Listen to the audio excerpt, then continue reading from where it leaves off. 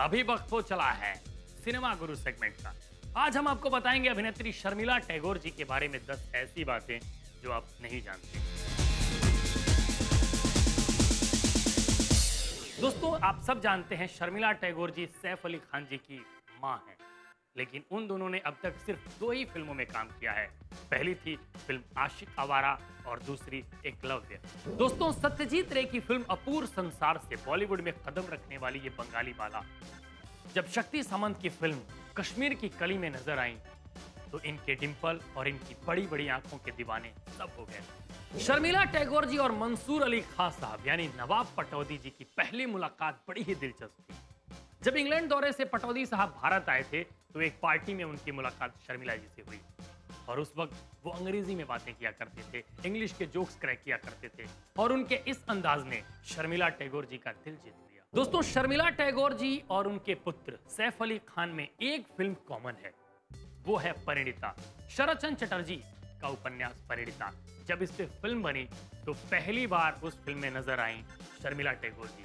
और दोबारा जब इस पे फ़िल्म बनी तो उसमें सैफ अली खान। दोस्तों, नवाब पटौदी से शादी करने से पहले शर्मिला टैगोर ने हिंदू धर्म छोड़ के मुस्लिम धर्म अपना लिया था और इसी कारण उनका नाम भी बदल दिया गया था। और मुस्लिम धर्म अपनाने के कारण उनका नाम हुआ था आयशा सुल्ताना। दोस्तों 1967 में बॉलीवुड में एक धमाका हुआ था। इस साल एक फ़िल्म आई थी एन इवनिंग इन पेरिस और ये फ़िल्म इसलिए खास थी कि पहली बार कोई बॉलीवुड की अभिनेत्री बीकनी में नज़र आई थी और वो पहली अभिनेत्री थी शर्मिला टैगोर। दोस्तों, शर्मिला टैगोर जी ने सबसे ज़्यादा हिट फ़िल्में काका यानी राजेश खन्ना साहब के साथ दी राजेश खन्ना साहब की और शर्मिला जी की छह ब्लॉकबस्टर फ़िल्में हैं, और वो फ़िल्में हैं आराधना, आविष्कार, अमर प्रेम, दाग, सफ़र, छोटी बहू। दोस्तों एन इवनिंग इन पेरिस के जब पोस्टर शहर में लगे थे, उसी दौरान शर्मिला जी की सासू माँ उनके घर आने वाली थी। और उन्होंने अपने ड्राइवर से कहा कि जिस रास्ते से वो आएँगी, उन रास्तों में इस तरह का कोई पोस्टर नज़र नहीं आना चाहिए। हालाँकि इस घटना से उन्हें बाद में बहुत तकलीफ़ हुई, बहुत बुरा लगा और उन्होंने तय किया कि वो अपनी इमेज तोड़ेंगी। और उसके बाद उन्होंने आराधना, अमर प्रेम और आविष्कार जैसी फ़िल्में की और उनकी छवि एक शुद्ध प्योर रोमांटिक अभिनेत्री की बनी। दोस्तों, शर्मिला टैगोर जी उन भाग्यशाली अभिनेत्रियों में से हैं जिन्होंने बहुत कम उम्र में ही रुपहले पर्दे पे स्टारडम देखा।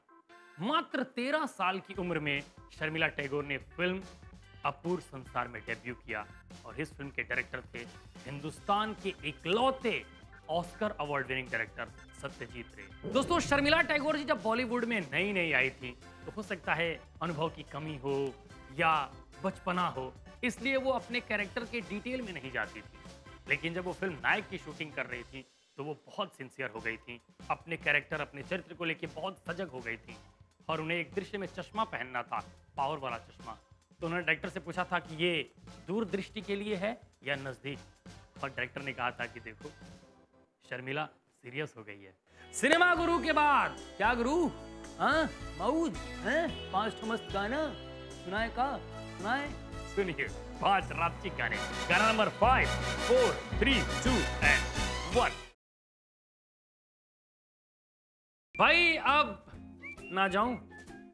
आज जाने दीजिए, अगले एपिसोड में और धमाका लेके आऊँगा। प्रॉमिस करता हूँ आपसे, वादा करता हूँ। और आप भी वादा कीजिए कि अपने चुटकुले, अपने आइडियाज़ अपने सजेशन अपनी मोहब्बत हमें मेल करते रहेंगे। Big magic marketing at the rate Reliance broadcast dot com पे। और आप हमारा फेसबुक पेज भी लाइक कर सकते हैं टाइप कीजिए बिग टॉप ट्वेंटी और अपने चुटकुले वहाँ भी पोस्ट कर सकते हैं, हम ज़रूर सुनाएँगे उसे। जाए हैं? आप गाते रहिए, गुनगुनाते रहिए और सदा मुस्कुराते रहिए और देखते रहिए मनोरंजन की फुल गारंटी यानी big top twenty only on big magic